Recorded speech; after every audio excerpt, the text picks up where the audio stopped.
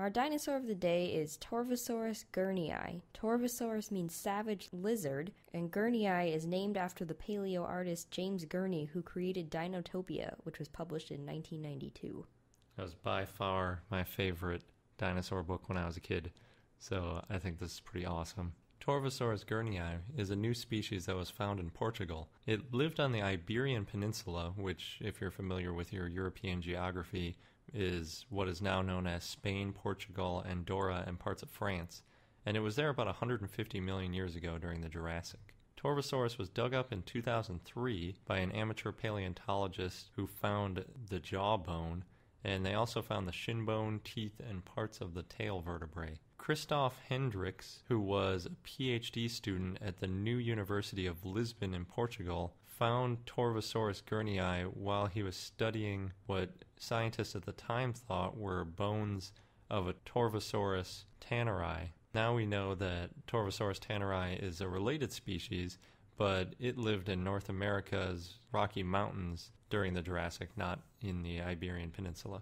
The study about Torvosaurus gurneyi was published in the Public Library of Science in March 2014. So there's two species of Torvosaurus, Torvosaurus tanneri and Torvosaurus gurneyi, and Torvosaurus tanneri was found first and named in 1979. Torvosaurus tanneri was a large, heavy bipedal carnivore that could grow to 33 feet. It was one of the largest of its time. But there's some key differences between the two Torvosauruses, which is how they realized it was a new species they found. Torvosaurus gurneyi has fewer teeth in its upper jaw, and the bone and tail vertebrae also are a little bit different. So Torvosaurus tanneri has more than 11 teeth, and Torvosaurus gurneyi has fewer than 11 teeth, and their mouth bones also have different shapes. Torvosaurus gurneyi had four inch long teeth that were blade shaped, and they had sharp claws on their forearms that they used to dig into prey, and it was about 32 feet long. The ecosystem for Torvosaurus was probably like the Serengeti According to Thomas R. Holtz Jr., there were a lot of small, medium, and large carnivores living alongside each other, just like how modern lions, spotted hyenas, leopards, and jackals currently live alongside each other. Where Torvosaurus was found in Portugal has a lot of fossils, and it's pretty scenic with lots of cliffs over a shoreline. In the Jurassic, it also had a large river and lots of vegetation, which means a very diverse set of dinosaurs lived there. So, Torvosaurus gurneyi may have been the biggest predator in Europe, at least that's been discovered so far. And it probably grew so big because it was surrounded by so many herbivores, such as stegosaurs and sauropods. So, Torvosaurus probably hunted large prey, but much like Tyrannosaurus rex and other large carnivores, it may have also been a opportunistic scavenger. Torvosaurus was smaller than T-Rex, but it had a very powerful bite nonetheless. And it also lived about 80 million years before T-Rex, but it's not an ancestor to T-Rex. They evolved what they say is convergent evolution, meaning that they both evolved to a similar type of animal and size and shape, but they're not closely related. So the paleontologist Holtz Jr. said Torvosaurus gurneyi was a big bruiser predator, which means it used brute force to kill its prey instead of using its speed or element of surprise.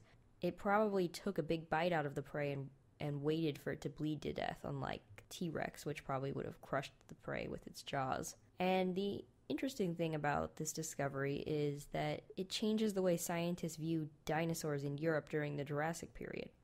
Before Torvosaurus gurneyi, it was thought that most of the dinosaurs in Europe were dwarf sized because they evolved to be smaller to fit on all the islands that formed Europe back then. Torvosaurus gurneyi was part of the group Megalosauridae, if you have no idea what a megalosaur is, you should watch the TV show Dinosaurs. Earl Sinclair is supposed to be a megalosaur, although I'm sure he's not very accurate. That's true because he walks a lot like Barney instead of the way a dinosaur probably walked.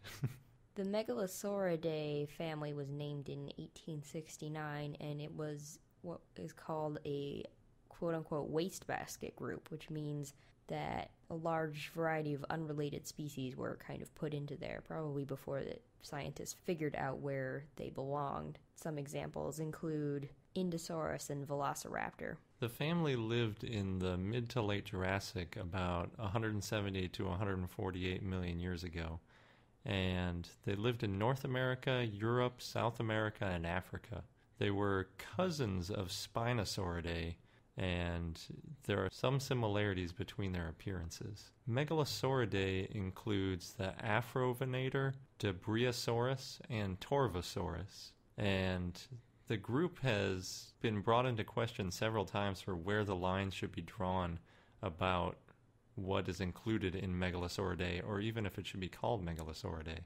So Thomas R. Holtz offered an alternate group definition as all dinosaurs which are more closely related to Megalosaurus than to Spinosaurus, Allosaurus, or modern birds. Like we said, Spinosaurus was a cousin, so if you look at the family tree, you could kind of just draw a line between the two and use that as your dividing point. But other scientists have come up with alternative definitions. Some don't like the name Megalosauridae and propose the name Torvosauridae instead, and still other names have been thrown out, but Megalosauridae is the one that seems to be the favored name still. Megalosaurs were primitive theropods, and their sizes range from small to large, but they all had sharp teeth and three claws on each hand. These big predators are usually harder to find than their prey, so there's not too much known about megalosaurs, but they did look similar to T Rex, and they may have been covered in proto feathers.